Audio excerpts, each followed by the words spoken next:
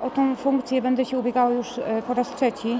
E, Dwie poprzednie kadencje e, powiedzmy, że już mam za sobą. Jest jeszcze bardzo wiele pracy, jeszcze jest bardzo wiele kierunków, które trzeba rozwinąć w naszym powiecie. Wymarzyłam sobie kiedyś, że powiat cieszyński jest powiatem otwartym, przyjaznym, przedsiębiorczym, interesującym, równościowym, solidarnym, prospołecznym i chciałabym, żeby w przyszłości wszystkie te cechy właśnie powiat cieszyński osiągnął.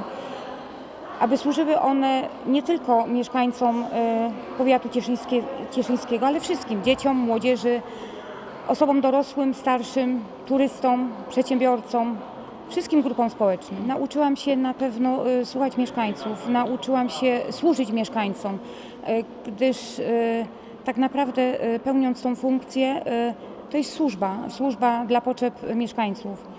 Myślę, że e, e, mieszkańcy doceniają to, gdyż porównując e, wybory na pierwszą kadencję, a wybory na drugą kadencję, to tych głosów było trzy razy więcej.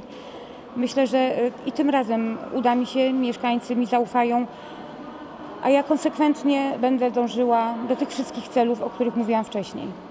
Myślę, że kobiety mogą bardzo wiele, aczkolwiek doskonale o tym wiemy, że e, są wypierane przez mężczyzn. E, To jest takie moje pobożne życzenie, e, żeby mężczyźni pozwolili zaistnieć kobietom tak naprawdę na wszystkich szczeblach samorządu.